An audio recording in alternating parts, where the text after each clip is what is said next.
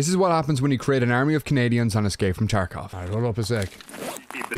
Oh, what's your name? Smokey. And what, what's your buddy's name over there? Stinky. Spooky and Stinky. What a fantastic duo we got here. Uh, where are you from, Spooky and Stinky? From Canada. There's another Another guy coming up here. Who's from Canada? Hey there, bud. Oh, Hey, what's good going? there, buddy?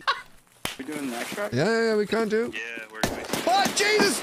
Coming in! Don't shoot! You come upstairs, I'll shoot. Is that a threat? All right, guys, I need a scav army to rush him. Go, go, go, scavs. You sure? Yeah, yeah, he's here.